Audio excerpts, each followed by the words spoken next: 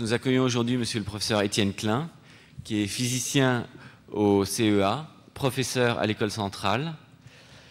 Il est euh, docteur en philosophie des sciences et il est spécialiste de physique des particules, du temps et d'épistémologie.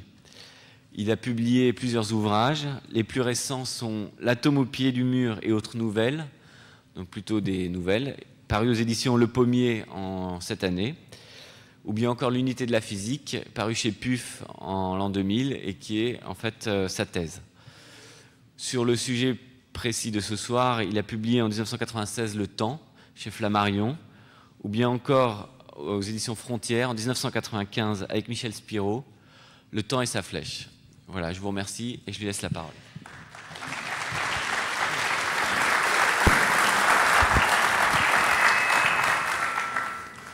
Bien, bonsoir. Euh, avant de commencer, je voudrais vous dire que je vous ai vu faire la queue tout à l'heure en arrivant et j'ai beaucoup d'admiration pour votre patience. La patience qui est un sujet qui a à voir avec le temps.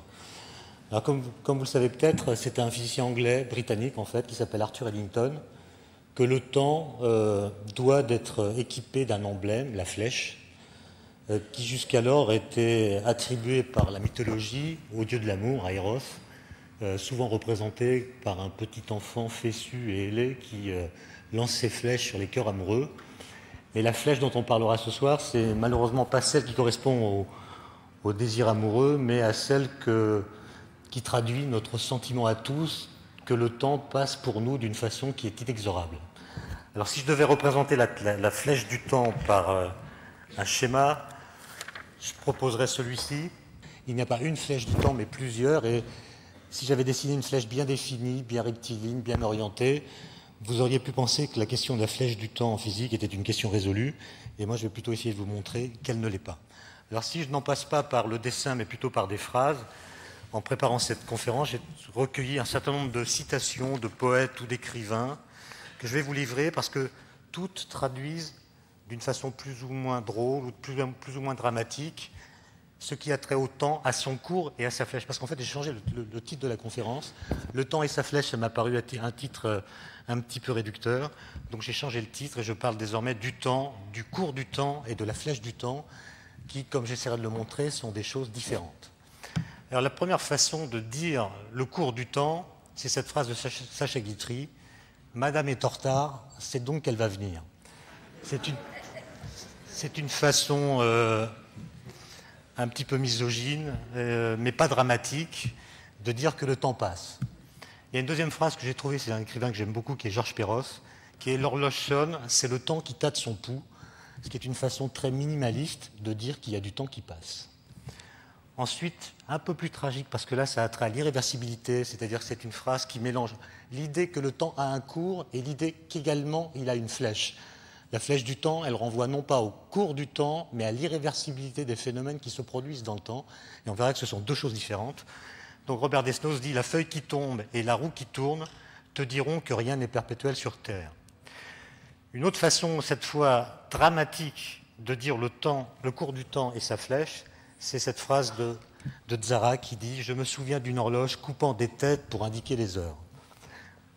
Donc là, on a vraiment les, l'irréversibilité dans ce qu'elle a de plus dramatique, c'est-à-dire la mort. Et enfin, pour finir, une phrase de Borges qui montre que euh, la valeur de la vie, ou la vie comme valeur, euh, s'enracine dans la connaissance de son essentielle précarité. Je lis cette phrase. La mort rend les hommes précieux et pathétiques. Ils émeuvent par leurs conditions de fantômes. Chaque acte qu'ils accomplissent peut être le dernier. Aucun visage qui ne soit à l'instant de se dissiper comme un visage de songe. Tout chez les mortels à la récupérable et de l'aléatoire. Pour continuer dans le tragique, mais ça sera la fin, je passerai après à autre chose, je vous rappelle, mais ça vous le savez, que l'Antiquité associait le temps, enfin la planète Saturne, au titan Chronos, qui a donné son nom au temps finalement en grec, et ce titan Chronos qui est représenté ici, comme vous le savez, dévorait ses enfants au fur et à mesure que son épouse réelle les mettait au monde. Donc il y a une certaine connivence entre le temps et la mort. Il y a d'ailleurs des philosophes comme Heidegger qui, prétendent que le mot temps a été inventé parce qu'il est neutre pour éradiquer notre peur de la mort et qu'en fait c'est une façon indolore de nommer la mort. Alors, maintenant, pour en revenir au, cœur du sujet, je voudrais, avant de parler de physique, euh, faire un certain nombre de remarques euh, préliminaires qui ne sont pas philosophiques, mais qui sont, disons, générales, parce que je ne voudrais pas que vous pensiez que la physique a le monopole du discours sur le temps. Le temps, c'est une question très vaste, qui n'est pas euh, l'apanage d'une discipline particulière, aussi formelle soit-elle. Et comme première remarque, je voudrais faire celle-ci. Il y a beaucoup de, gens qui pensent que les scientifiques, et surtout les physiciens, euh, seront un jour capables de nous révéler la nature du temps, ou du moins d'en proposer une définition qui serait plus exacte que les autres. Alors vous savez qu'il est toujours très difficile de définir les mots importants, et c'est peut-être même euh, impossible, parce que si ces mots sont vraiment fondamentaux, on ne peut pas les rapporter à autre chose qu'eux-mêmes. Parce que définir, c'est ramener une conception donnée à une autre conception jugée plus fondamentale, Or, qu'y a-t-il de plus fondamental que ce qui est fondamental? Hein, Donc, euh, on ne peut pas définir le temps, j'essaierai de le montrer tout à l'heure. Et c'est sans doute pourquoi euh, un philosophe que j'ai déjà cité, Heidegger, disait, avec juste raison, me semble-t-il, que finalement, les, scientifiques posent très peu de questions comme qu'est-ce que le temps, qu'est-ce que l'espace, qu'est-ce que la matière, alors que c'est souvent la réponse à ces questions que l'on attend d'eux. Et le fait qu'ils ne soient pas capables de répondre à ces questions vient, à mon avis, du fait que la science, la physique en particulier, a su limiter ses ambitions pour devenir efficace. C'est-à-dire qu'en fait, elle ne s'intéresse pas à toutes les questions qui se posent dans nos têtes, loin s'en faut. Elle prend soin de ne sélectionner que celles qui relèvent de ses compétences et de sa méthode. Et par exemple, pour le sujet qui nous concerne, la physique ne s'intéresse pas, en tout cas pas au premier ordre, à la question de la nature du temps, ou du moins si elle le fait, c'est uniquement à la marge de ses théories, comme on le verra. Mais ce qui l'intéresse plutôt, c'est de trouver la meilleure façon de représenter le temps, le temps, ce qui est une toute autre affaire. Alors pour revenir à cette question de définition, vous savez que le, mot temps, c'est un mot magique que tout le monde comprend sans qu'il soit besoin de l'expliciter. C'est un mot qui existe dans toutes les langues. Il est traduit dans toutes les langues. Là, je, vous donne une liste, euh, une trentaine de mots. Alors vous remarquez qu'en catalan, temps se dit temps, ce qui est rassurant mais dans tous les autres cas, le mot est différent de celui de la langue française. Et donc c'est un mot qui est compris par tout le monde sans qu'il soit besoin de préciser davantage ce qu'il signifie. Et euh, le problème, c'est que personne ne sait quelle réalité se cache derrière lui. Le mot est clair, mais la chose qu'il traduit ne l'est pas. Alors évidemment, on peut essayer de définir le temps. Il y a beaucoup de gens qui ont essayé de le faire, des philosophes notamment. On peut dire que le temps, c'est ce qui passe quand rien ne se passe. On peut dire que le temps, c'est ce qui fait que tout se fait ou se défait. On peut dire que le temps, c'est l'ordre des choses qui se succèdent. On peut dire que c'est le nombre du mouvement selon l'avant et l'après, etc. Mais voyez bien que toutes ces expressions, en réalité, contiennent déjà l'idée du temps et donc présupposent l'idée du temps. Ce qui veut dire que ce ne sont pas des définitions du temps, mais des métaphores du temps. Elles présupposent déjà l'idée d'une temporalité. Par exemple, lorsque je dis que le temps est ce qui passe quand rien ne se passe, vous voyez que dans l'idée de passage, il y a déjà l'idée d'un temps qui coule, et donc cette définition n'en est pas une, c'est simplement une métaphore qui est impuissante à rendre compte de la véritable nature du temps. Alors pour continuer sur cette pente, je remarque que, nos réflexions sur le temps sont presque toujours confuses, voire paradoxales, et c'est sans doute parce que nous ne savons précisément pas de quel type d'objet ou de chose il s'agit. Est-ce que le temps est une chose? Est-ce qu'il est une idée simplement? Est-ce que c'est une apparence? N'est-ce qu'un mot, une façon de parler? Existe-t-il en dehors de l'âme, pour parler comme saint Augustin? Existe-t-il en dehors de la conscience, pour parler comme Husserl? Bref, vous voyez qu'on a tout de suite flairé dans le temps des paradoxes, des ambiguïtés, de sorte que les philosophes n'ont cessé d'interroger sa réalité, et, cela depuis l'Antiquité grecque. On se souvient par exemple de la solution qu'a proposée Parménide au 5e siècle avant Jésus-Christ. Parménide et puis son école qu'on a appelée ensuite l'école des Éléates, qui proposait de confondre la matière et l'espace. Donc ils excluaient l'idée du vide et ils se trouvaient contraints de penser le mouvement comme une simple translation, c'est-à-dire comme une succession de positions fixes. Donc pour cette école-là, dont on reparlera dans la suite, le temps demeure inexplicable et c'est pourquoi il s'attachait à démontrer impossible tout mouvement et à tout décrire à partir de l'immobilité. De l'autre côté, en phase 2, si on peut dire, il y avait Héraclite et d'une certaine façon aussi les atomistes qui, eux, euh, prennent un tout autre parti. Ils proposent de confondre la matière avec le mouvement même et affirment que le vide existe. Donc selon eux, tout est mobile, tout bouge, et tout est tellement mobile qu'on ne peut même pas imaginer de points fixes à partir desquels on pourrait évaluer les changements d'état ou expliquer quoi que ce soit. Et il se trouve que ce débat reste d'actualité dans la physique la plus contemporaine, puisque la question de savoir si l'univers, si le monde doit être vu plutôt comme un système ou plutôt comme une histoire, reste d'actualité. Et de ce point de vue, la physique demeure écartelée entre ces deux piliers de la pensée grecque que j'ai évoqués, Parménide et Héraclite.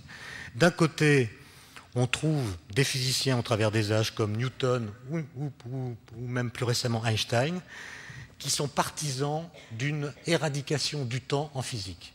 C'est-à-dire que, pour parler comme Einstein, il s'agit, selon, eux, de ramener la physique à une pure géométrie, c'est-à-dire à une forme sans histoire, dans laquelle la temporalité n'a temporalité pas de rôle effectif. Et puis de l'autre côté, en phase 2, du côté d'Héraclite, si vous voulez, du côté du temps, on trouve des physiciens qui sont persuadés que l'irréversibilité est en fait présente à toutes les échelles de la physique, à l'échelle microscopique aussi bien qu'à l'échelle macroscopique, mais qu'on a eu tort de l'oublier, puisqu'on verra tout à l'heure qu'en physique microscopique, il n'y a pas de flèches du temps qui apparaissent précisément. Donc la question qui est posée est la suivante, et elle est d'ordre épistémologique. Est-ce que la physique a vocation à décrire l'immuable, ou est-ce qu'elle doit être une sorte de législation des métamorphoses? Cette question, évidemment, n'est pas tranchée. Et pour euh, revenir à la question que j'évoquais en préambule de la réalité du temps, je voudrais signaler cette, cette question que Aristote a formulée d'une façon assez originale, qui a été constamment rediscutée depuis. Aristote fait la remarque suivante. Il dit, puisque le passé n'est plus, et donc n'existe plus, donc n'existe pas, puisque l'avenir n'est pas encore, puisque le présent lui-même a déjà fini d'être dès qu'il a commencé d'exister, comment pourrait-il y avoir une réalité du temps? Le temps a beau contenir la, totalité de ce qui est, nous ne parvenons pas à le penser autrement que comme une limite toujours disparaissante entre deux néants, d'un côté le passé, de l'autre côté l'avenir. Et Aristote pose cette question, enfin, je, je l'adapte, disons, mais ça revient à ceci. Un être qui n'existe qu'en cessant d'être, et c'est le propre du temps, est-ce encore un être? N'est-ce pas plutôt une illusion? Alors comme ça, on peut s'interroger indéfiniment sur euh, l'existence même du temps, mais ce qui est plus difficile, c'est de nier euh, les marques indélébiles qu'il imprime sur les choses et jusqu'à nos propres vies. Donc on pourrait dire, euh, et ce sera la, fin de mon introduction si vous voulez, on pourrait dire que le temps se présente à nous d'une façon qui est toujours ambiguë. D'une part, il est ce qui fait que les choses persistent à être, et d'autre part, il est ce qui les fait changer. Et donc le présent, qui est finalement la seule chose qui nous soit présente par définition, le présent a, ceci de paradoxal qu'étant à la fois toujours présent et jamais le même, il imbrique en lui-même la permanence et le changement. Et donc, pour finir par euh, une pirouette, qui est en fait la seule définition sérieuse du temps que je connaisse, on pourrait dire que le temps c'est le meilleur moyen qu'a trouvé la nature pour que tout ne se passe pas d'un seul coup. Alors moi j'arrête là mes petites digressions générales, par manque de temps évidemment, mais aussi parce que, comme vous le savez sans doute, euh, les historiens des sciences s'accordent à dire que la physique moderne a commencé avec Galilée. Or que fait Galilée, entre autres choses? Galilée prend garde à ne jamais se perdre en vaines discussions à propos de la nature ou de la réalité du temps. Il ne se préoccupe pas de savoir ce qu'est le temps, il s'occupe de savoir comment il peut l'utiliser pour corréler entre eux des phénomènes.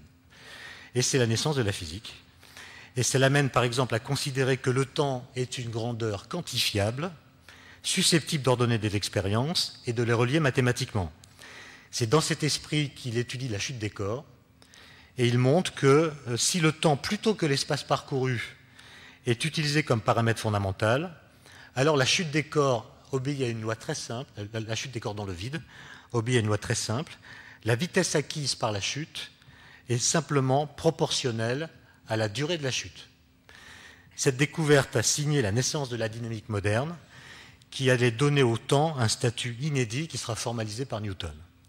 Jusqu'alors, euh, le temps était simplement euh, centré sur des préoccupations humaines. Il, servait, il servait essentiellement aux hommes de moyens d'orientation dans le monde social et de modes de régulation de leur coexistence, mais il n'intervenait pas de façon explicite ou quantitative dans l'étude des phénomènes naturels. Alors j'ai dit tout à l'heure que la physique s'était auto-limitée, c'est-à-dire qu'elle ne prétend pas répondre à toutes les questions qui concernent le temps. Et par exemple, elle échoue à rendre compte de la relation qui existe entre le temps physique, c'est-à-dire le temps qu'indiquent nos montres, et le temps psychologique, qui est celui de la conscience. Alors on se doute bien que ces, deux types de temps ont certainement un lien, mais il se trouve que certaines de leurs propriétés sont distinctes voire contradictoires. D'abord, ils diffèrent par leur structure. Vous savez que le, temps physique est toujours représenté comme un mince filament qui s'écoule identiquement à lui-même, alors que le temps subjectif, lui, se déploie en ligne brisée, il entremêle des rythmes différents, des discontinuités, de sorte qu'il ressemble plutôt à un cordage tressé qu'à un fil. Et effectivement, notre conscience éprouve plusieurs temporalités qui s'enchevêtrent, tant par, leur, nature, il y a le temps de nos, sensations, il y a le temps de nos idées, il y a le temps de nos humeurs, que par leurs échelles, puisqu'on peut aller à des perceptions qui sont de l'ordre de la microseconde jusqu'à plusieurs dizaines d'années. On peut envisager ces durées-là, en tout cas. Et donc, euh, le temps psychologique est structuré comme une corde faite de multiples brins, eux-mêmes composés de courtes fibres et de, fines, courtes et fines fibres. Pardon. D'autre part, le temps physique et le temps psychologique se distinguent par le fait que le premier, le temps physique, est toujours ponctuellement concentré dans le présent. C'est-à-dire que le temps physique est constitué d'instants et le présent est un instant qui sépare l'infini du passé de l'infini du futur. Alors que le temps psychologique, lui, il mélange au sein du présent un peu de passé récent et un peu de l'avenir proche. Autrement dit, euh, dans le temps physique, des instants successifs n'existent jamais ensemble, par définition, alors que dans le temps psychologique, il y a une sorte de coexistence qui s'élabore au sein du présent, qui mélange en fait un peu du passé immédiat et un peu du futur imminent. Notre perception du présent a une durée qui est de l'ordre de deux secondes, et donc le présent psychologique entremêle des choses que le temps physique sépare.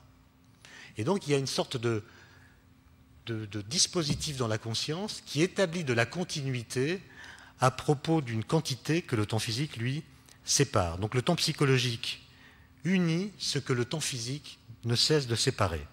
Par exemple, lorsqu'on écoute une mélodie de musique, la note précédente, la note qui vient d'être jouée, est retenue avec la note présente et la projection de la note future, et l'ensemble forme euh, une sorte de structure harmonieuse. Et sans cette alliance au sein de la conscience, chaque note serait isolée et il n'y aurait pas de mélodie à proprement parler. Enfin, il y a une autre grande différence entre le temps physique et le temps psychologique, et c'est cette différence-là qui est à l'origine du fait que nous avons des montres au poignet, c'est que le temps physique et le temps psychologique n'ont pas la même fluidité. Le temps physique est censé s'écouler uniformément, du moins dans la conception classique. La relativité change un peu la donne. En tout cas, le deuxième temps, le temps psychologique, a une fluidité très variable qui varie euh, selon l'intensité des événements qu'on est en train de vivre, selon l'âge du sujet, etc. Ça peut être montré. Et surtout, notre perception des durées dépend de la signification des événements que nous sommes en train de vivre, signification à nos propres yeux. Vous connaissez la phrase d'Arletty dans le film de Marcel Carnet qui s'appelle Hôtel du Nord. Arletty dit Il y a des moments qui durent longtemps. Et un autre philosophe, enfin, pas un autre philosophe, un philosophe, quoique,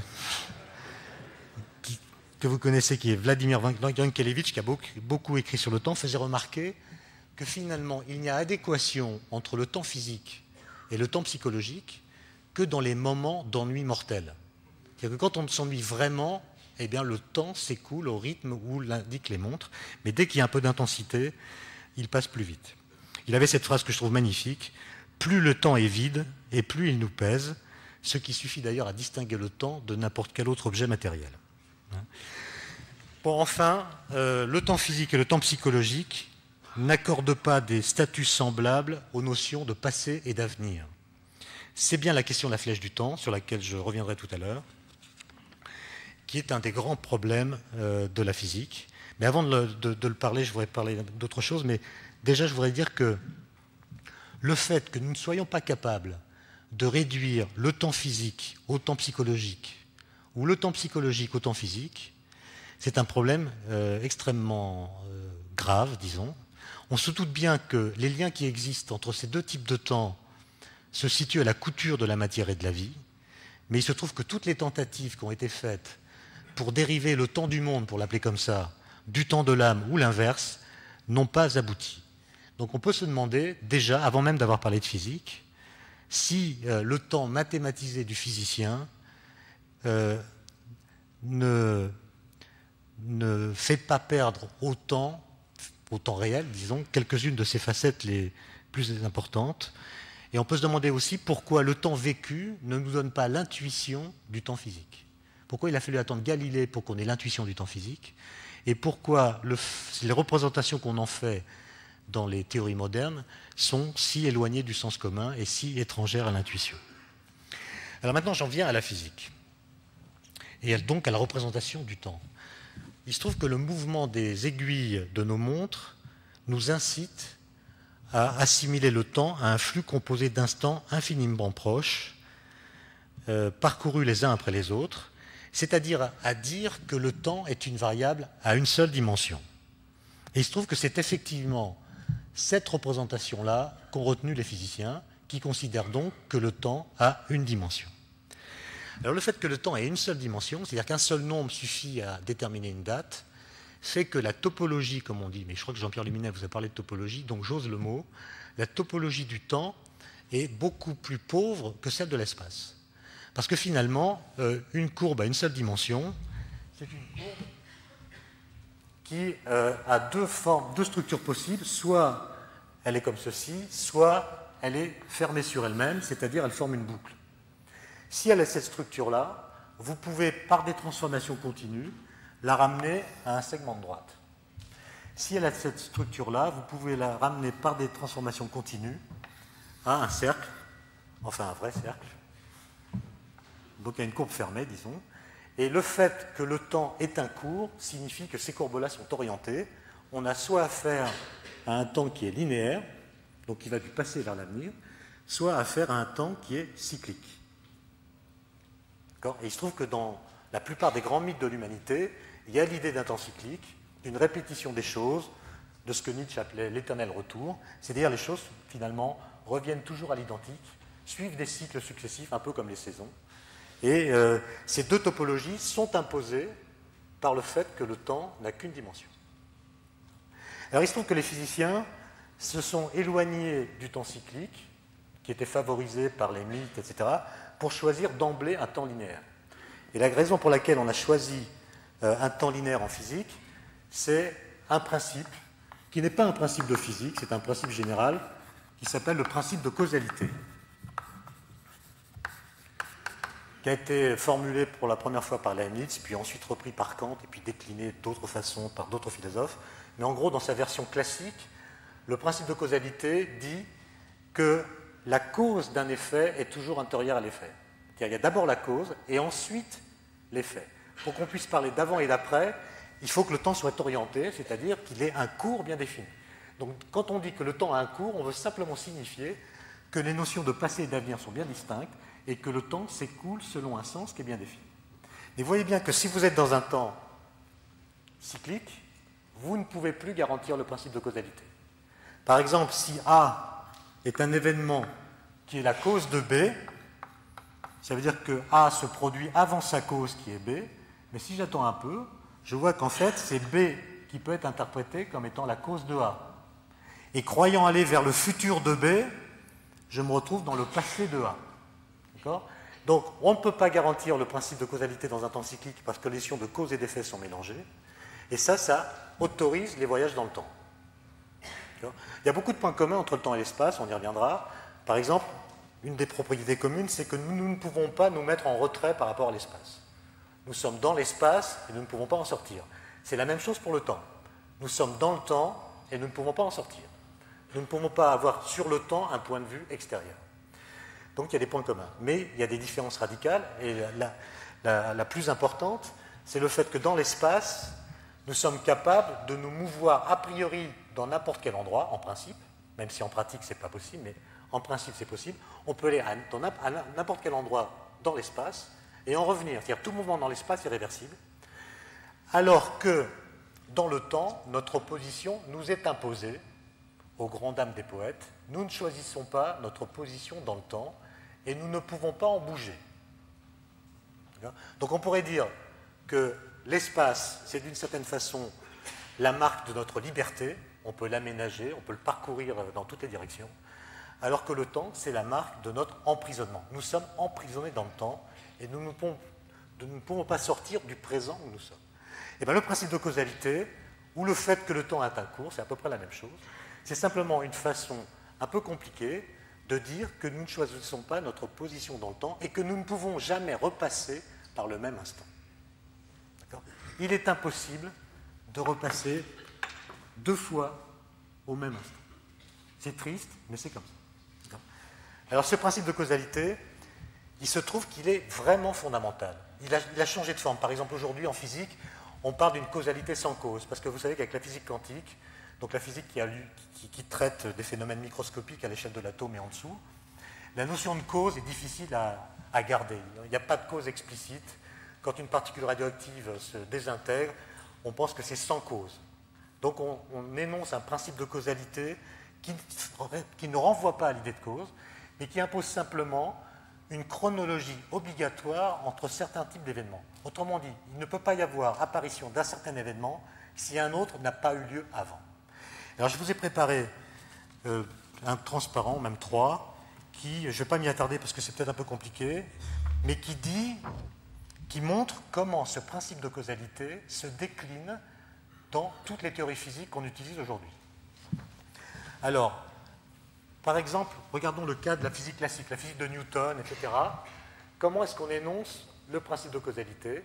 Eh bien, On dit simplement que la cause est antérieure à ses effets, c'est ce qu'on vient de dire, que le, temps est linéaire est orienté, et orienté, et pas cyclique. On ne peut pas passer deux fois par le même instant, et on ne peut pas rétroagir sur la cause d'un événement qui a déjà eu lieu. Donc interdiction des voyages dans le passé ou dans le futur. Parce que vous voyez bien, je ne l'ai pas assez dit, vous voyez bien que si le temps était cyclique, alors vous pourriez remonter dans le passé et défaire la cause d'un effet dont vous faites partie. Par exemple, un petit garçon peut remonter dans le passé, faire la connaissance de sa grand-mère qui est toute jeune et qui fait la cour à celui qui deviendra son grand-père. Il l'emmène dans sa voiture de sport, a un accident, la tue, et donc l'union qui allait voir la naissance de son père ou de sa mère n'a pas lieu, donc lui-même ne peut pas naître, et pourtant il a défait dans le passé la cause de son existence. Et c'est pour éviter ces drames dans les familles que euh, on, a choisi, a choisi un temps linéaire en physique classique. Il n'y a pas d'autre raison.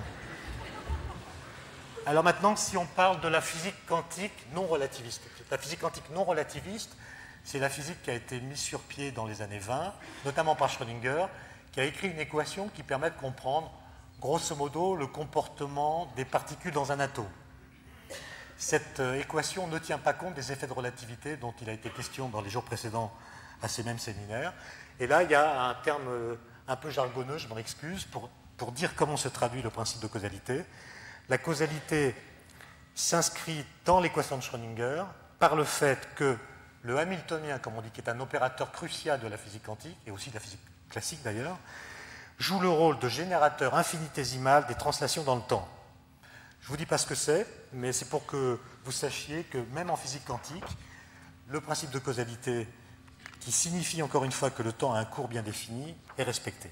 Pour ce qui est de la relativité restreinte, c'est-à-dire euh, celle qui a été élaborée par Einstein en 1905, comment est-ce que euh, la causalité est garantie?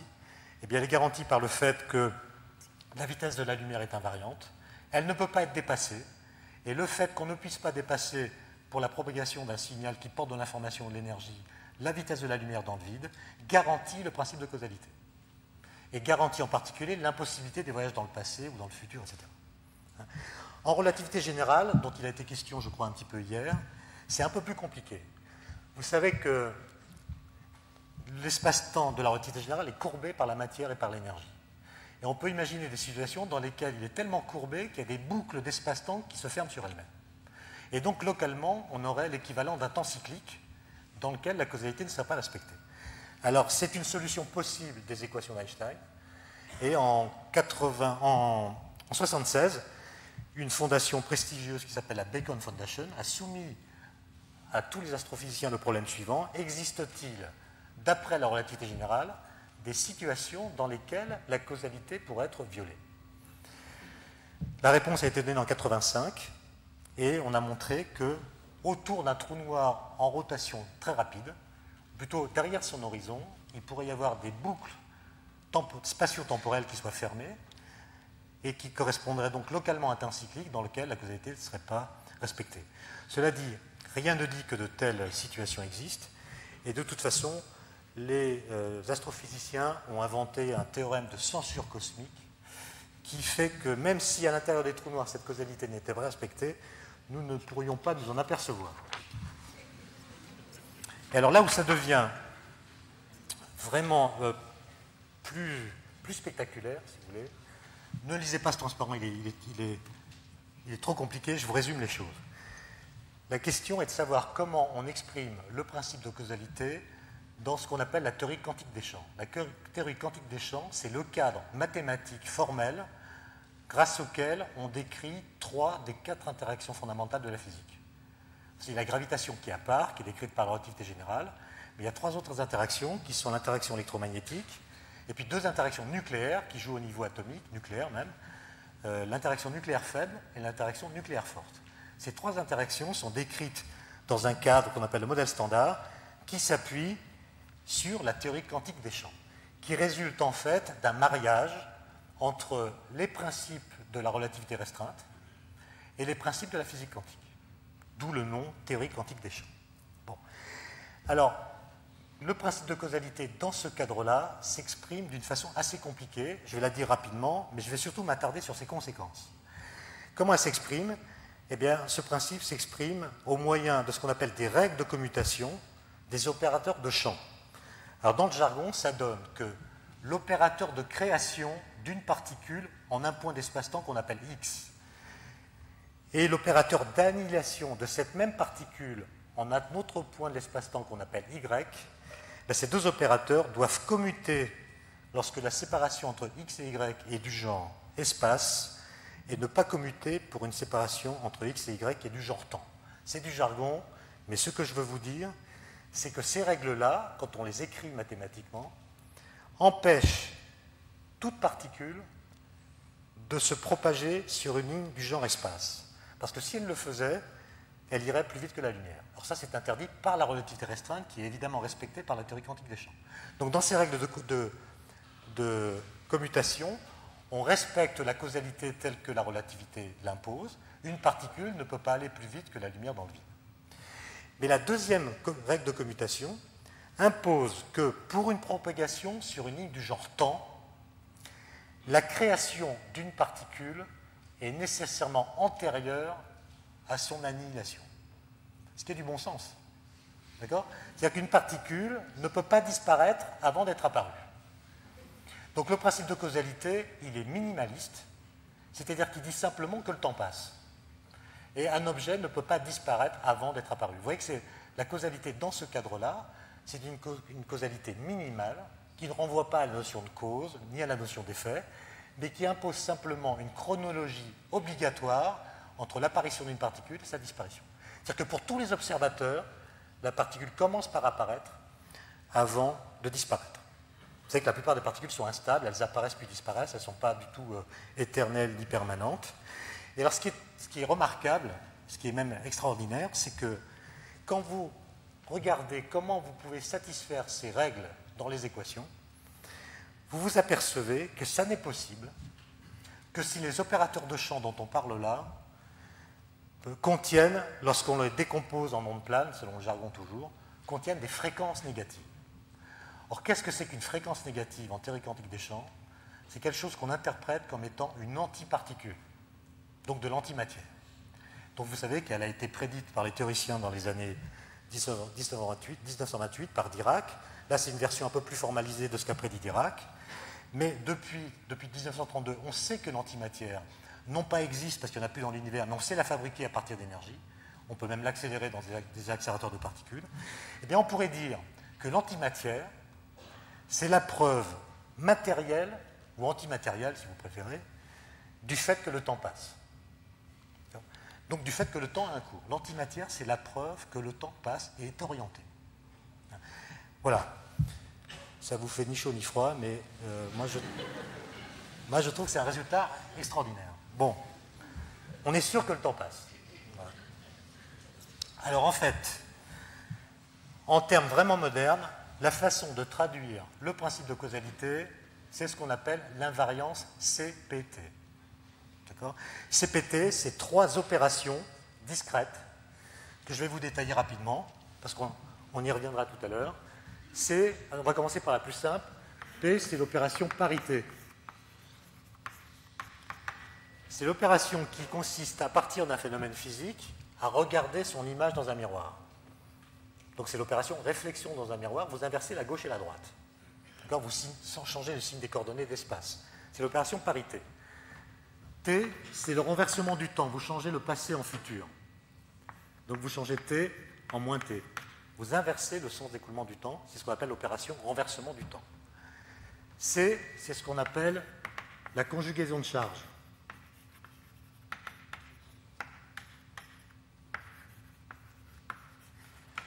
C'est l'opération qui consiste, lorsque vous avez une particule, à la changer en son antiparticule. Donc vous changez le signe des charges électriques, d'où l'appellation conjugaison de charge.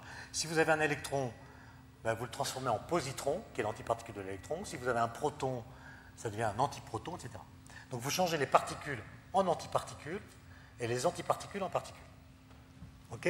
Ce que vous dit l'invariance CPT, qui est la façon moderne de dire le principe de causalité, que Leibniz n'aurait certainement pas accepté, mais c'est comme ça qu'on dit aujourd'hui, c'est que si vous filmez n'importe quel événement de physique, n'importe quelle expérience de physique, même au niveau microscopique. Vous prenez donc un film. Ce film, vous l'avez enregistré donc sur, un film que vous pouvez, auquel vous, que vous pouvez soumettre, ou faire, auquel vous pouvez faire subir ces trois opérations CPT dans n'importe quel ordre, peu importe. Donc vous avez votre film. La première chose que vous faites, c'est que vous le retournez sur lui-même comme ça.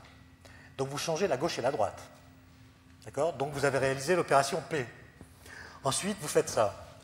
Donc vous changez T en moins T, vous changez le passé et l'avenir, vous avez réalisé l'opération grand T.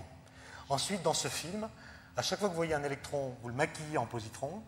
À chaque fois que vous voyez un antiproton, vous le maquillez en proton, etc. Donc vous, faites l'opération conjugaison de charge. Et vous passez le film.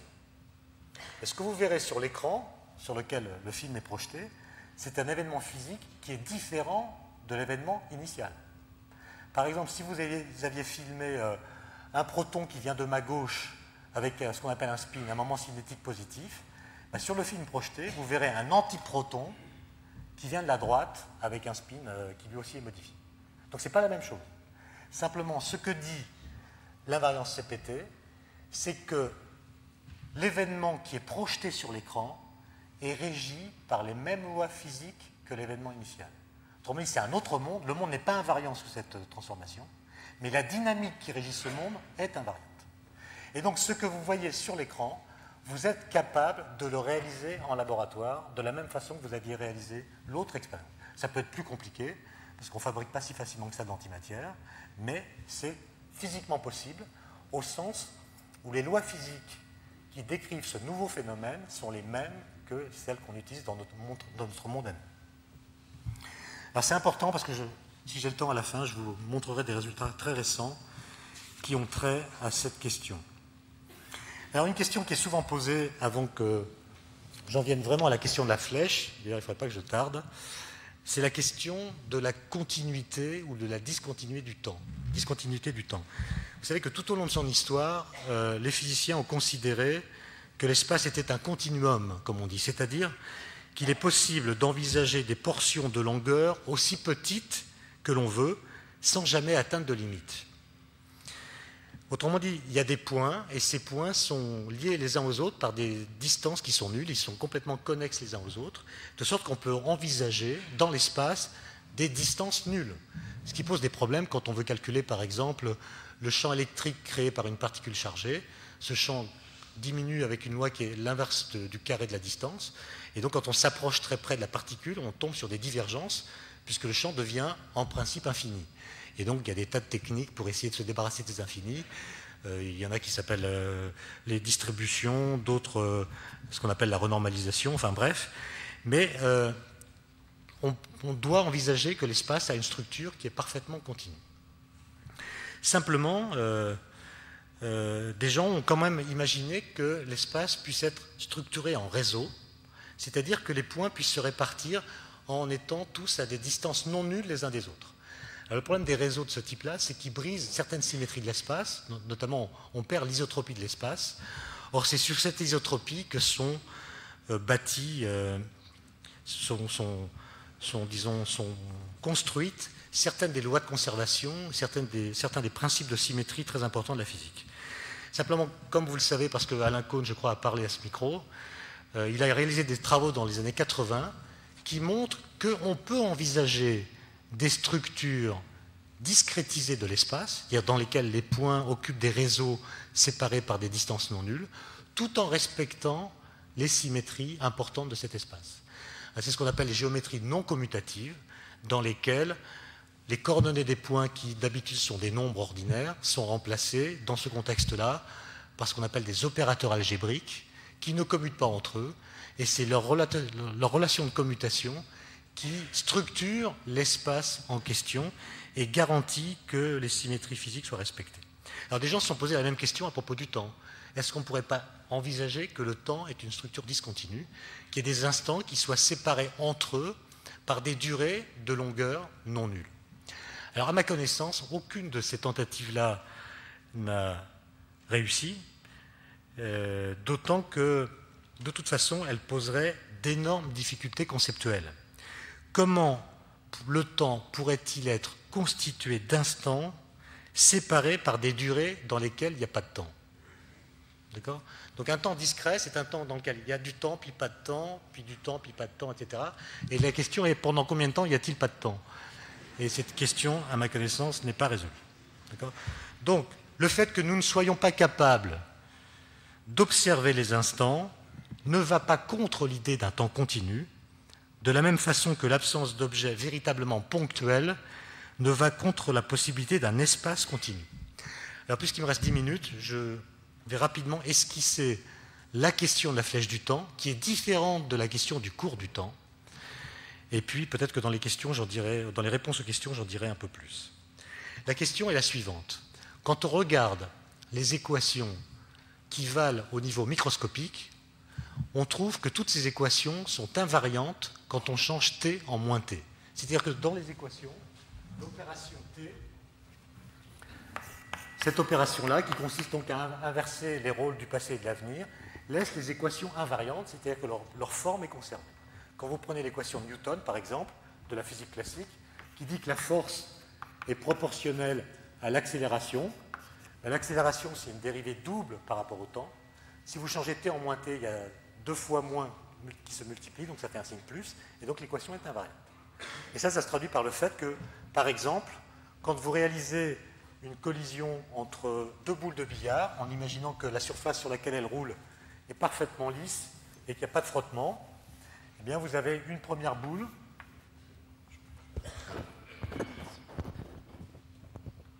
Il y a une première boule qui arrive sur une deuxième boule que je vais noter en rouge. La collision se produit, la boule 1 va partir comme ça par exemple, l'autre va partir dans la direction opposée pour des raisons de conservation de l'impulsion et de l'énergie. Donc celle-ci devient la 2', celle-ci devient la 1'. Et voilà donc un événement qui est régi par les lois de la physique classique. Et s'il n'y a pas de frottement sur la table, la vitesse des boules est conservée. Je filme cet événement et je passe le film à l'envers. Ce que je vais voir, c'est une collision différente de celle-ci, puisque, je ce, que, puisque ce que je verrai, c'est la boule 1 qui arrive comme ceci, qui repart comme ça, et la boule 2 qui part comme ceci.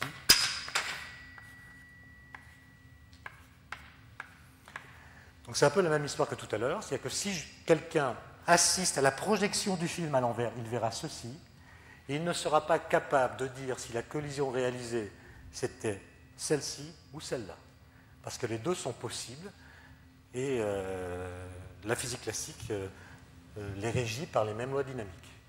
Alors donc, cette collision inversée, vous pouvez la réaliser en laboratoire, mais le fait de la réaliser ne vous, ne vous fait pas remonter le temps. D'accord?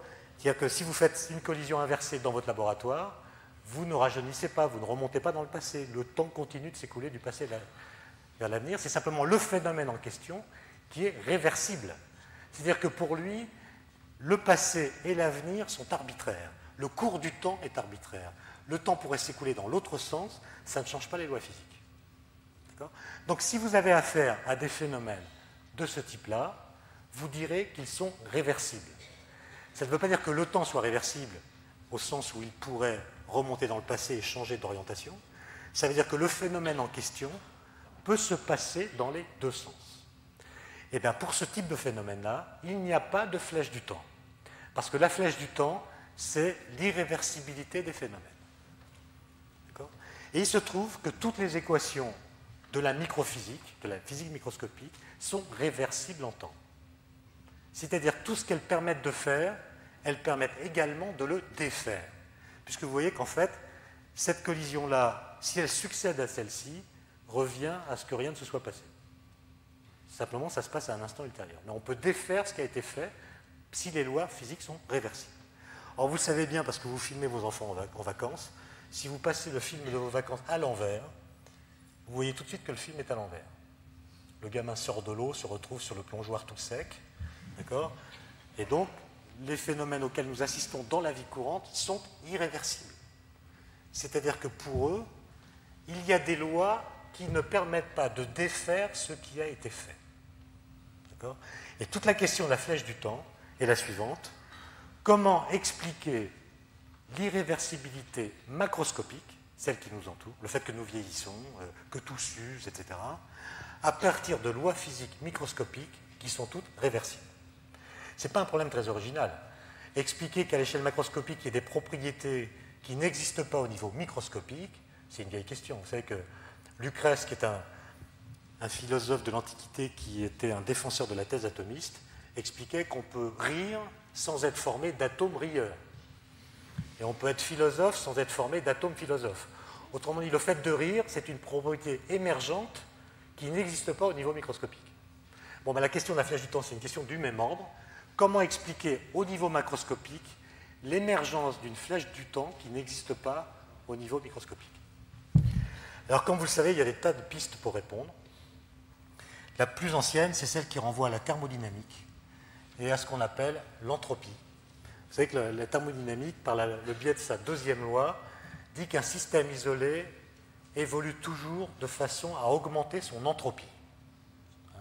Par exemple, vous pouvez calculer que l'entropie d'une eau tiède, d'un volume donné, est supérieure à l'entropie de la moitié de ce volume froid et de la moitié de ce volume chaud.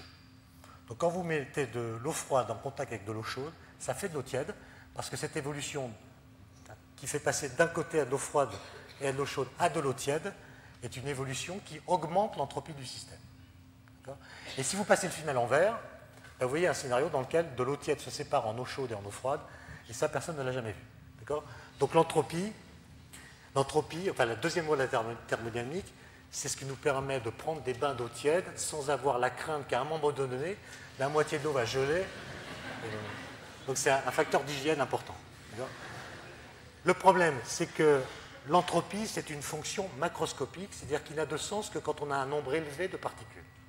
Il y a un physicien du 19e siècle qui s'appelle Boltzmann, qui a montré qu'effectivement, quand on a un grand nombre de, degrés de liberté, un grand nombre de, molécules dans un gaz, par exemple, eh bien on les décrit par le biais des lois statistiques.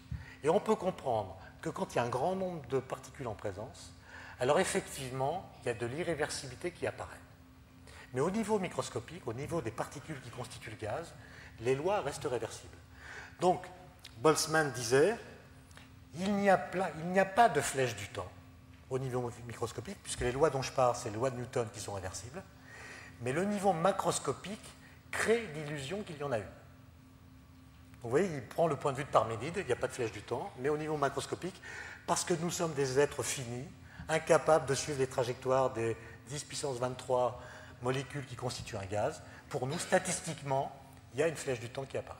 Et vous savez qu'il y a des physiciens qui contestent ce point de vue, notamment Prigogine, qui, dit, qui renverse le raisonnement et qui dit il y a une flèche du temps, y compris au niveau microscopique, mais le niveau microscopique crée l'illusion qu'il n'y en a pas. D'accord? Donc il inverse la problématique, il prend le point de vue d'Héraclite contre Parménide. Euh, le problème, c'est que. Enfin, il y a un problème. Il y a des problèmes. Je ne vais pas en dire beaucoup plus. Mais pour terminer, je voudrais vous dire que je suis vraiment obligé de faire 50 minutes ou, je peux faire 55 Non, non. Je passerai pas à la télé, c'est pas grave. Ah, je veux quand même en dire un peu plus. Parce que dans l'affaire, il n'y a pas que la thermodynamique. Vous savez que la question de la flèche du temps, c'est compliqué par le fait qu'au XXe siècle, il y a eu des révolutions en physique. Il y a eu notamment la relativité, qui a changé beaucoup de choses vis-à-vis du temps, notamment son lien à l'espace, qui a montré que les durées étaient relatives. Hein, la durée qui sépare un événement d'un autre événement dépend de la vitesse de l'observateur par rapport à cet événement. Elle n'est pas la même pour tout le monde. On a perdu en relativité la notion de simultanéité. C'est-à-dire si dans, ce référentiel qu'est cet amphithéâtre, il y a deux événements qui sont simultanés pour nous, pour quelqu'un qui traverserait la pièce à une vitesse qui n'est pas négligeable devant celle de la lumière, eh bien, il ne serait pas simultané. Il y en a qui serait avant l'autre. Et puis pareil pour celui qui viendra en sens inverse. Donc la notion de maintenant est une notion qui n'a plus de sens en relativité. Par contre, ce qui est préservé en relativité, c'est la chronologie des événements. si je lâche cette craie à un certain instant, euh, elle va ensuite tomber et toucher la table. Je ne vais pas le faire pour ne pas me faire de bruit. Mais pour quelqu'un qui viendrait traverser la pièce à une grande vitesse, la chronologie des événements serait différente, serait la même, serait respectée. Elle serait d'abord en haut puis en bas. C'est simplement la durée qui serait modifiée. Donc la durée est relative, mais la chronologie est absolue. Il y a aussi la physique quantique. La physique quantique pose des questions un peu difficiles à propos de la flèche du temps, parce que les équations qui régissent la physique quantique sont réversibles en temps. Quand vous changez T en moins T, vous ne changez pas la structure des solutions, mais elles font intervenir lors de la mesure des modifications de ce qu'on appelle le vecteur d'état des systèmes qui font penser à l'irréversibilité. Simplement, cette irréversibilité, elle serait due en quelque sorte à l'intervention humaine par le biais de la mesure sur les systèmes, et donc, là encore, elle est d'une certaine façon anthropomorphique. Et pour finir, je voudrais vous montrer les résultats d'une expérience tout à fait récente qui euh, sont susceptibles de démentir tout ce que je vous ai dit. C'est-à-dire que j'ai dit tout à l'heure que la causalité s'incarne sous le biais de l'invariance CPT. Alors, il s'est passé en 57, en 1957, un événement bizarre. Les physiciens ont détecté dans le rayonnement cosmique des particules bizarres. D'ailleurs, on les appelait les particules étranges.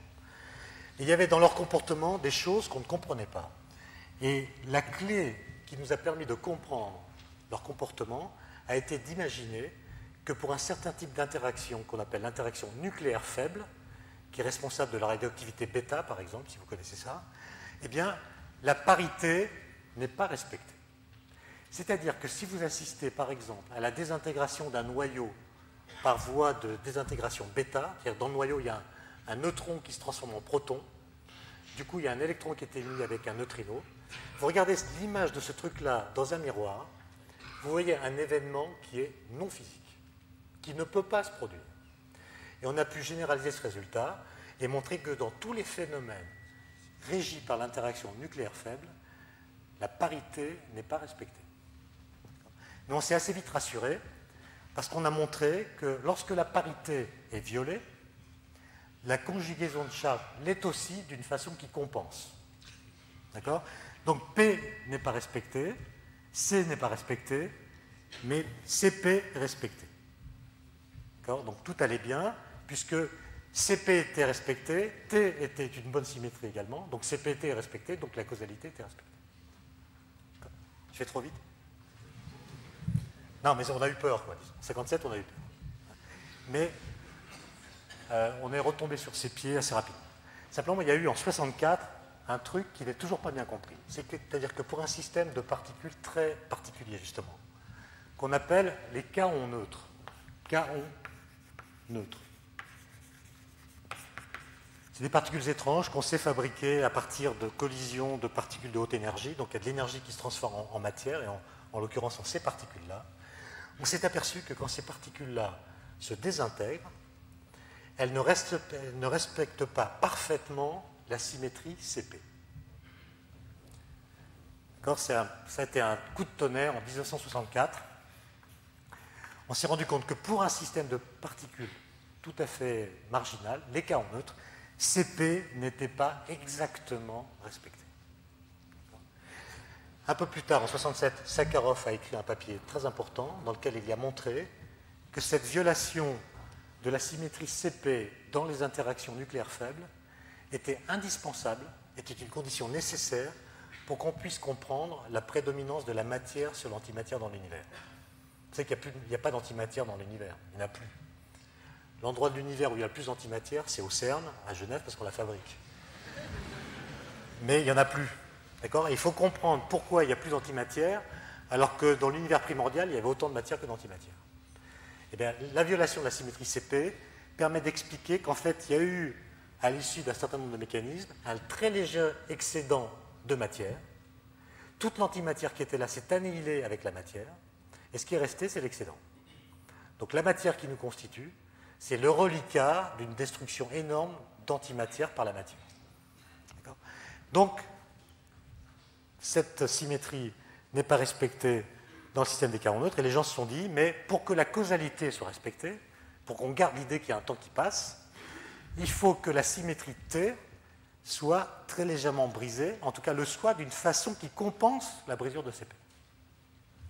Et donc il y a une expérience qui a été lancée au CERN il y a, il y a 10 ans, qui s'appelle l'expérience CPLIR, dont je vous donne euh,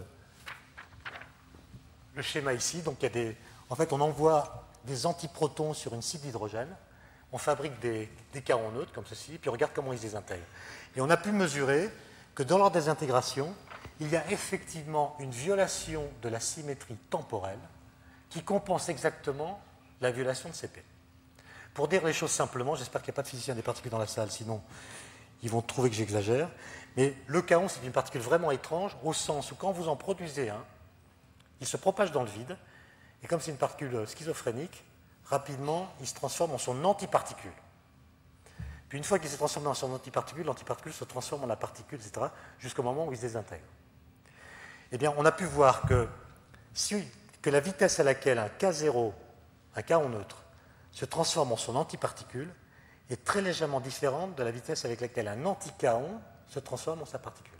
Donc si vous filmez le truc et que vous passez le film à l'envers, vous voyez un événement non physique. Et donc c'est la première fois dans l'histoire qu'on a mis le doigt sur un phénomène microscopique pour lequel il y a une flèche du temps. De là à penser que c'est parce qu'il y a des chaos neutres qu'on vieillit, il y a un pas qu'il ne faut pas franchir. Mais c'est une question qui est extrêmement euh, importante, à tel point qu'on est en train de démarrer aux États-Unis euh, une nouvelle expérience qui s'appelle Babar, avec un détecteur encore plus gros, parce que la question se pose non seulement pour les carons neutres dont j'ai parlé, mais pour d'autres particules qui s'appellent les mésons Vous savez, les carons, c'est des particules qui ne sont pas des particules élémentaires. Elles sont formées d'un quark et d'un antiquark. Mais c'est des particules assez légères. Et on sait fabriquer des particules plus lourdes, qu'on appelle les mésombeaux, et comme elles sont plus lourdes, elles peuvent se désintégrer par beaucoup plus de voies possibles. Et donc on voudrait voir si pour ces particules-là également, il y a une violation de la symétrité. Et si elle existe, on voudrait l'étudier beaucoup plus finement grâce à ce genre de machine. Et euh, la question sera ensuite de savoir si on peut comprendre, à partir d'une flèche du temps microscopique, qui est confinée à quelques systèmes de particules très particuliers, on peut comprendre la flèche du temps macroscopique. Alors, pour conclure, je dirais que finalement, il n'y a pas d'unité théorique autour du concept de temps. C'est-à-dire qu'en fait, chaque discipline de la physique va attribuer à tel ou tel phénomène ou à telle ou telle loi l'origine de la flèche du temps. Mais cette flèche du temps locale ne peut pas être étendue à toutes les autres disciplines. Il y a des physiciens qui pensent par exemple que c'est l'expansion de l'univers qui est la flèche mère de toutes les fléchettes qu'on trouve dans les différentes théories de la physique. Mais il me semble qu'il sera difficile de, sortir de, ce débat parce que dans toute l'histoire de la physique, on voit, comme je l'ai dit en introduction, deux façons de penser qui ne cessent de s'affronter. Il y a d'abord celle qui se fonde sur l'histoire et sur le temps, c'est donc Héraclite euh, transformé par euh, toute la suite, et d'autre part la version qui s'appuie sur l'invariance et l'absence de temps. Et il me semble que ces deux tendances-là euh, correspondent à deux composantes contradictoires mais inséparables de notre effort pour comprendre le monde. Nous ne pouvons pas penser le monde sans le temps, et nous ne pouvons pas le raconter sans imaginer qu'il transporte avec lui une certaine invariance. Je vous laisse réfléchir là-dessus.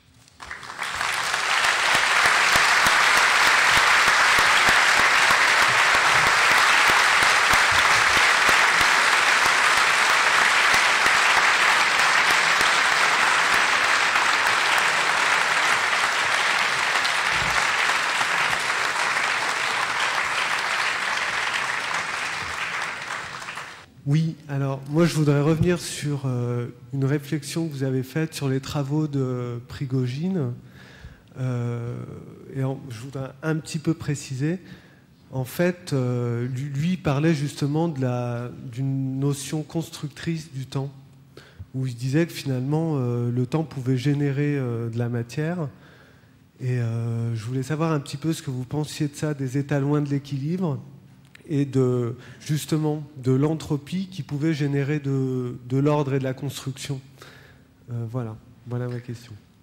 Moi, je ne suis pas un spécialiste des travaux de Prigogine, simplement, je remarque que cette idée qu'il a de vouloir introduire dans les équations de la microphysique une flèche du temps explicite, pour l'instant, n'ont pas abouti. C'est-à-dire que on peut avoir le parti philosophique de dire qu'il y a une flèche du temps au niveau microscopique, et c'est ce qu'il fait. Euh, en s'inspirant d'ailleurs de Bergson. Il, reprend souvent la phrase de Bergson le temps est invention ou il n'est rien du tout. C'est-à-dire, le mot invention ici est à prendre au sens de création ininterrompue de nouveautés. Ce n'est pas invention au sens de chimère ou de, ou de délire. Pour lui, le temps, c'est quelque chose qui construit. Ce qui est évidemment la thèse de Bergson par laquelle il s'est opposé à Einstein, par exemple. Mais encore faut-il le montrer dans les équations. Or, pour l'instant, la physique a pu fonctionner avec des succès qu'on ne peut pas contester, sans mettre cette flèche du temps dans les équations. Maintenant, pour ce qui est de l'application du deuxième principe de la thermodynamique dans les systèmes très loin de l'équilibre, vous savez qu'elle est délicate parce que dans son énoncé trivial, le deuxième principe de la thermodynamique ne s'applique qu'aux systèmes isolés. Donc quand vous l'appliquez à des systèmes qui ne sont pas isolés, comme euh, les systèmes vivants par exemple, ou même les systèmes biologiques élémentaires, vous tombez sur des problèmes puisque ce sont des, des mondes qui sont constamment en relation avec l'extérieur. Et donc l'application du deuxième principe est extrêmement délicate. Oui. Oui, je voudrais savoir euh, si vous êtes déjà servi de la pataphysique, qui est la science des solutions des problèmes imaginaires. Parce que dans la pataphysique, on considère qu'on peut démontrer un théorème, qu'on peut aussi l'inverser. Non, mais je connais, enfin, je peux pas dire que je connais bien la pataphysique, mais j'apprécie ce que je connais de la pataphysique. Euh, mais que dire de plus? La phrase de, la phrase de, Raymond DeVos, euh, quitte à remonter dans le temps autant que le temps soit beau, me plaît beaucoup. Tout à l'heure de mesure vous l'avez euh, quasiment euh, assimilé à un anthropomorphisme. Hmm. Alors ça, ça me trouble beaucoup, parce que jusqu'à présent, j'ai cru que euh, la physique ne s'occupait quasiment que de résultats de mesures, qu'elle n'existe qu'à travers les mesures. Les théories sont évidemment indispensables, mais elles ne sont validées que par l'expérience et la mesure. Alors, si vraiment euh, on assimile la mesure à un anthropomorphisme, on est bien obligé de dire que toute la physique n'est qu'un gigantesque anthropomorphisme, ce que certains prétendent, j'ai l'impression d'ailleurs. Euh, qu'en pensez-vous euh, personnellement? C'est une, question qui nous éloigne du temps, mais ce qui m'a fait dire ça, c'est la physique quantique. La physique quantique, c'est quand même une rupture conceptuelle qu'on ne peut pas nier, puisqu'avant, on avait une vision de la physique qui était non pas celle que vous avez décrite, je crois que l'empirisme dont vous faites état, qui consisterait à dire que la physique c'est de la mesure et simplement ça, il me semble qu'il est démenti dès les débuts de la physique. Par exemple, Galilée, quand il énonce le principe d'inertie, principe d'inertie qui dit qu'un corps qui n'est soumis à aucune force a une trajectoire rectiligne et une vitesse uniforme, ce principe-là n'est pas le résultat d'une observation ou d'une mesure. Personne n'a jamais observé un mouvement inertiel. Et pourtant, c'est l'idée d'un mouvement inertiel qui permet de rendre compte de l'amortissement des mouvements réels. Donc tout de suite, la physique, c'est inventer des principes qui ne sont pas des lectures directes du monde empirique. Bon, ça c'est une première façon de répondre. Maintenant, pour ce qui est de la physique quantique, elle a obligé à rompre avec une conception qu'on pourrait dire réaliste de la physique, qui consistait à dire que le but de la physique était de fournir les instruments théoriques capables, par le biais du contrôle expérimental, de dire le monde physique tel qu'il est.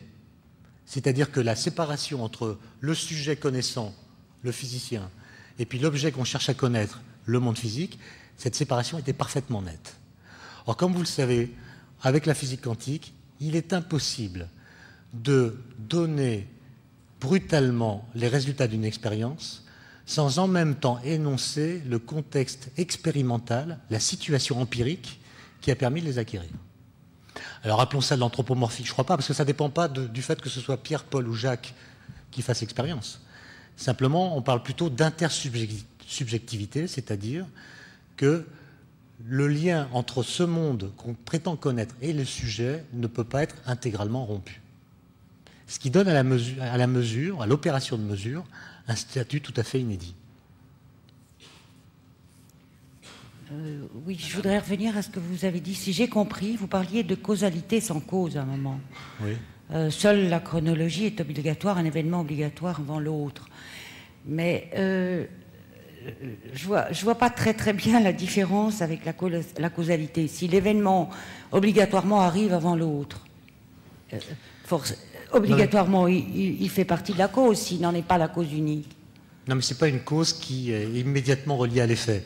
Ça vient de, ce que j'ai dit à propos de la physique quantique. En physique quantique, vous ne pouvez pas raconter une histoire comme on peut la raconter en physique classique en disant par exemple tel électron qui a donné lieu à une opération de diffraction entre deux fentes a subi telle trajectoire, il est, il est passé là, puis là, etc. Vous ne pouvez pas raconter l'histoire exactement en ces termes. Et donc vous perdez le fil narratif qui permet d'identifier d'un côté la cause et ensuite l'effet. Et par exemple, quand on a un atome, euh, pour parler du carbone 14 qui est radioactif, eh bien vous savez que euh, on sait que cet atome va un jour se désintégrer parce qu'il est radioactif. Sa période c'est 5700 ans, je crois. Donc on sait qu'il va se désintégrer. Mais on ne sait pas dire la cause qui fait qu'à tel moment plutôt que tel autre, il va se désintégrer. Si vous voulez, pour parler du temps, pour revenir à la question du temps, parce que finalement la radioactivité c'est une façon de parler du temps la, loi de désintégration des particules radioactives ou des atomes radioactifs, elle est telle qu'on peut dire que un atome radioactif, c'est un atome qui finit par mourir, entre guillemets, puisqu'il se désintègre en d'autres particules plus légères, mais ne vieillit pas. C'est-à-dire que, par exemple, un atome de carbone 14 a la même probabilité de se désintégrer dans l'heure qui va venir qu'il ait 5 minutes, qu'il soit apparu il y a 5 minutes, ou qui soit apparu il y a 15 milliards d'années. Enfin, 15 milliards d'années n'était pas là, mais disons un milliard d'années. D'accord? Autrement dit, sa probabilité de disparaître est indépendante de son âge. Donc, il meurt, mais il ne vieillit pas. Et on pourrait se dire, mais finalement, les êtres humains font la même chose. Le fait de. On pourrait penser que la radioactivité, la désintégration des particules radioactives, c'est le résultat d'une usure de la matière. La matière s'use et puis à un moment, elle craque. En fait, pas du tout. On peut montrer que les êtres humains ne, se désintègrent pas, entre guillemets, comme les particules radioactives. Ce n'est pas du tout une loi exponentielle. Il y a des gens qui ont fait des simulations et qui ont montré que si la durée de vie est de 75 ans pour les hommes, ce qui est la moyenne dans les pays occidentaux riches, eh bien, et si on avait une loi de décroissance analogue à celle des particules radioactives, eh bien, il y aurait un pour mille de la population qui aurait plus de 750 ans. D'accord? Donc on n'est pas du tout dans ce contexte-là, parce que précisément, arrive un âge pour nous où notre probabilité de mourir augmente avec l'âge. Mais on a pu montrer aussi que les hommes ne vieillissent, les hommes et les femmes, je crois, avec des différences sur les bornes de la fourchette, les hommes et les femmes ne vieillissent pas entre 28 ans et 40 ans, je crois. C'est qu'entre 28 ans et 40 ans, notre probabilité de mourir dans l'année qui va suivre est indépendante de notre âge. Je voudrais revenir à ce que vous avez dit sur la matière noire. Euh, d'une part, je n'ai pas complètement compris en quoi ça représentait le premier phénomène euh, porteur de, flèche du temps, enfin en tout cas son annihilation par la matière. Et d'autre part, j'étais surprise de vous entendre dire qu'il n'y avait plus de matière noire dans l'univers parce que j'ai entendu il y a de ça environ une dizaine d'années un astronome euh, décrire des, résultats de comment euh, d'observations dans lesquelles on avait, on avait justement repéré des sources de matière noire dans je ne sais plus quelle région de la galaxie. Alors je suis un petit peu euh, perturbée. Mais j'ai pas parlé de matière noire. Ah pardon. Pardon, euh, c'est la question d'hier. Voilà, non, c'est un, un, lapsus depuis le début. reprenez tout avec antimatière. Mais vous venez du futur, vous venez du passé, ou vous avez voyagé dans le temps Je suis désolée. Ah, l'antimatière non, mais bon, le scénario privilégié dans les modèles actuels, c'est de dire qu'il n'y a pas d'antimatière dans l'univers. Parce que s'il y en avait, par exemple, s'il y avait des galaxies d'antimatière, elles devraient, lors de collisions qu'elles pourraient avoir à des galaxies de matière, émettre des flashs de photons gamma très intenses qu'on devrait pouvoir détecter. Mais simplement, on n'en est pas certain, puisqu'on n'a pas exploré tout l'univers, mais on n'a pas vu de résultat d'annihilation d'antimatière par la matière. Et donc la seule possibilité de sauver l'antimatière dans l'univers, c'est de dire qu'elle se serait dynamiquement complètement séparée de la matière. Et vous savez qu'il y a beaucoup de gens qui ont essayé de trouver des scénarios qui permettraient d'expliquer comment l'antimatière et la matière auraient pu se séparer alors qu'elles étaient mêlées dans l'univers primordial, et aucun n'a convaincu. D'où l'idée que l'antimatière a disparu, et ensuite il faut expliquer pourquoi elle a disparu. Mais il n'y a pas de lien entre la flèche du temps et l'antimatière, il y a un lien entre l'antimatière et le cours du temps. C'est-à-dire qu'en fait, pour, vous dire les choses un peu simplement, quand vous mettez ensemble de façon non prudente les équations de la relativité restreinte et les équations de la physique quantique non relativiste, c'est ce qu'a fait Dirac en 1927, vous bricolez ça, vous mélangez un peu tout le truc, sans rajouter le principe de causalité. Eh bien, vous voyez que pour certains observateurs, vous voyez qu'il y a des situations, donc, pour lesquelles, pour certains observateurs, une particule peut disparaître avant d'être apparue. Donc c'est la négation de la temporalité même du temps. Et donc on force à la main la causalité, on rajoute, on contraint les équations à satisfaire la causalité, et du coup on, voit apparaître comme conséquence de cette causalité les énergies négatives, donc l'antimatière, etc. S'il n'y avait pas d'antimatière, on, on, pourrait dire qu'on peut remonter le temps. Quoi. Oui je voudrais faire un tout petit commentaire d'astrophysicien. Il y a effectivement un peu d'antimatière dans l'univers, euh, puisque certaines sources produisent des positrons. et on a effectivement observé euh, l'annihilation d'électrons. Il y en a dans l'atmosphère aussi. Dans le centre galactique, un petit peu. C'était peut-être ce à quoi pensait la dame. la question que je voulais poser était une autre question. Euh, je voudrais revenir un peu sur le problème de la théorie de la mesure, qui est, semble-t-il, l'autre paradoxe fondamental de la mécanique quantique. Et il y a en particulier une interprétation qui, a un rôle un peu bizarre dans la physique moderne, une interprétation de la mécanique, quantique qui est celle des univers parallèles, qui a été proposée sérieusement par des, physiciens pour résoudre les paradoxes de la théorie de la mesure, en disant grosso modo que les différents résultats possibles d'une mesure pouvaient être actualisés en même temps et simultanément dans des univers qui s'ignoraient les uns les autres. Et euh, je crois que c'est Bell à faire remarquer que cette conception poussée à la limite faisait également disparaître la notion de temps, puisqu'on finissait par aboutir à un état du monde qui était grosso modo une superposition de l'ensemble des univers possibles, et donc en tant que tel, indépendante du temps, puisque l'ensemble des univers possibles, par définition, ne peut pas évoluer. Il me semble que ça rejoint un peu la conception très antique de Parménide. Euh, est-ce que vous avez un commentaire Moi, je n'ai pas compris ça. La, théorie des univers parallèles, elle a été proposée par Everett en 57 pour résoudre les problèmes de physique quantique en disant si on prend comme système physique non pas l'atome d'hydrogène dans sa boîte ou n'importe quoi d'autre, mais l'univers tout entier, alors qu'est-ce qui pour l'univers fait office d'observateur? Est-ce que c'est Dieu? Est-ce que c'est bon? Et donc il a essayé de montrer que le problème de la mesure ne pouvait être résolu pour un système comme l'univers que si on imaginait qu'à chaque fois qu'une mesure dichotomique, c'est le terme qu'il employait, est faite sur un système qui peut a priori donner deux résultats de mesure différents, ben, il y a un résultat qui se réalise dans notre univers et puis l'autre qui se réalise dans un autre univers qui est immédiatement créé et qui n'est pas connexe au nôtre, c'est-à-dire avec lequel on ne peut pas communiquer. Alors moi, je n'ai pas d'avis là-dessus. Je crois qu'il y a assez peu de physiciens qui prennent ça au sérieux. Mais ce qui est intéressant, c'est de montrer que la théorie d'Everett, donc la théorie des univers parallèles, pour l'appeler par son nom, elle n'oblige elle pas à changer les équations de la physique quantique. C'est-à-dire qu'en fait, c'est une interprétation compatible avec le formalisme tel qu'il est, et simplement, elle a montré de façon un petit peu spectaculaire qu'on avait beaucoup de mal à comprendre le statut de l'opération de mesure dans le formalisme de la physique quantique. Cela dit, il ne faut pas croire que les choses en soient restées en l'état où l'avait laissé, où les, pères fondateurs de la physique quantique avaient laissé ce problème. Vous avez entendu parler de la théorie de la décohérence, euh, qui est une piste qui permet de comprendre euh, la réduction du paquet d'ondes sans sortir euh, des principes de base de la physique quantique. Mais elle est d'une certaine façon aussi anthropomorphique puisqu'elle fait intervenir l'environnement, qui est une notion définie par l'observateur. Mais vous aurez au mois d'août, je crois, des conférences sur la physique quantique. Ce sera de les poser, le, moment de les poser. Une, dernière question. Oui, bonjour. Euh, oui, je voudrais revenir sur le système des, canons, des canons neutres. Euh, puisque la, symétrie de CP est brisée, vous avez dit qu'il faut que T soit brisé pour qu'elle compense CP. Mais les canons neutres euh, sont gérés par des équations quantiques qui sont invariantes par T. Alors comment la, la symétrie T peut être brisée Non, mais en fait, les équations quantiques, comme vous dites, elles obéissent à la variance CPT.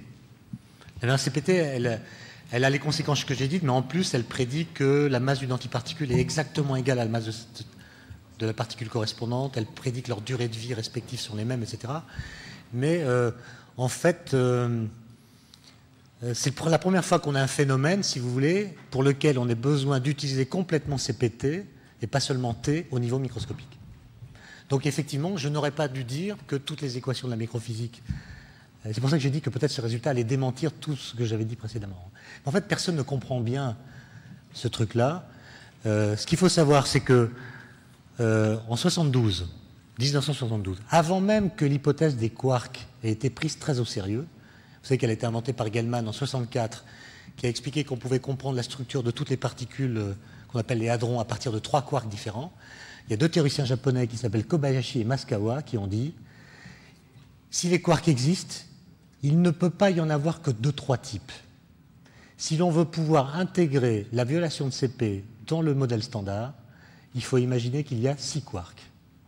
Et ils ont dit ça avant même qu'on ait découvert expérimentalement le premier quark. Effectivement, il y a six quarks. Donc il semblerait que cette violation de CP, qui n'est pas bien comprise, et beaucoup de choses à nous apprendre sur, euh, sur ce qu'il faut mettre dans le bon modèle standard. Bien, merci.